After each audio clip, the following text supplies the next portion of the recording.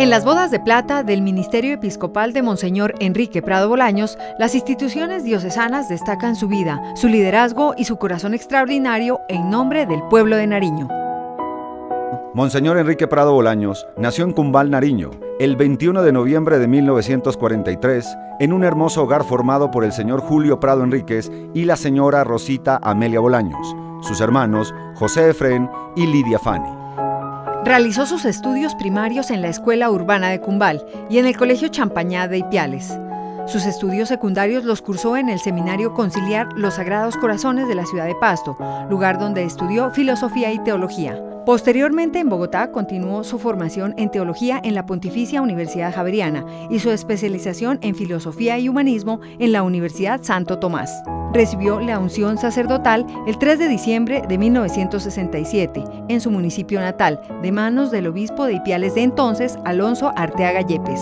Por su gran trayectoria humanista, el Papa Juan Pablo II lo nombró obispo auxiliar de la Arquidiócesis de Cali el 8 de julio de 1992 y el 22 de agosto del mismo año recibió la ordenación episcopal en la Catedral de Ipiales de manos del obispo de dicha ciudad, Gustavo Martínez Frías. Gracias a su idoneidad, sabiduría y cualidades, por su caminar, a su preocupación por los enfermos, a su interés por contribuir a resolver la problemática social y a su pensamiento ante los nuevos retos de la sociedad, el 2 de febrero de 1995 su santidad Juan Pablo II lo designó obispo de Pasto. Luego de 25 años de vida episcopal, Monseñor Enrique Prado Bolaños ha cumplido fielmente la misión de ser profeta, testigo y servidor de la esperanza. Ha dedicado sus esfuerzos, oración, tiempo y carisma a consolidar el proceso diocesano, convirtiéndose no solo en su patrono, sino en su líder espiritual y orientador de los destinos de las beneméritas instituciones del sector salud, Hospital Infantil Los Ángeles, Amparo San José y Hospital San Pedro, dedicando su alma y su corazón al bienestar de la comunidad del suroccidente colombiano en los tres ciclos de la vida. Felicitaciones, Monseñor, por sus méritos, por los logros, por todo lo que usted hace con bondad y amor. Nosotros como familia estamos muy orgullosos y muchas gracias por ser mi amigo, mi guía. Dios lo bendiga, Monseñor. Monseñor, desde que nací eres, eres el ángel de la tierra y mi ángel favorito y te quiero con todo mi corazón. Su amor por la infancia ha contribuido al desarrollo institucional del Hospital Infantil Los Ángeles, una obra católica al servicio y defensa de la vida. Una institución diocesana que humaniza evangelizando, creada hace 65 años para abrazar, proteger y cuidar a los niños y sus familias un referente nacional e internacional que hace parte del selecto grupo de instituciones acreditadas en salud por ICONTEC y el Ministerio de Salud y Protección Social.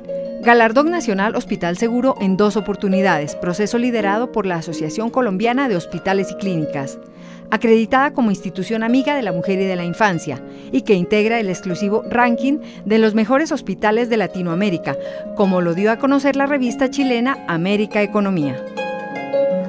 Cuando una vida ha sido luminosa, su destello iluminará por siempre la vida de quienes acompañamos su camino. Imposible para el Hospital Infantil Los Ángeles no reconocer en su patrono, Monseñor Enrique Prado Bolaños, esa huella imborrable de su gestión. Su confianza, su apoyo permanente para lograr nuestros grandes propósitos, su dejar ser, su dejar hacer, su consejo sabio y su orientación hacia una vivencia de valores y principios institucionales han hecho la diferencia. De ese pequeño hospital que algún día me entregó Monseñor, lo único que quizá queda pequeño es la estatura de los niños, porque los sueños han sido y siguen siendo demasiado grandes. Gracias a su liderazgo de ejemplo, hoy el hospital es el único hospital pediátrico acreditado en Colombia y uno de los mejores de América Latina. Por eso, más allá de esa gestión gerencial, el hospital es un hospital esencialmente humanizado gracias a su orientación, porque el nuestro es un hospital que se inclina con humildad y respeto ante la grandeza y dignidad de los niños y de sus familias. Monseñor Enrique Prado. Por esa razón, desde el corazón de los niños, desde el corazón de esta familia hospitalaria, gracias por su vida entregada a nuestra causa. Gracias infinitas por amar a los niños como Jesús los amó.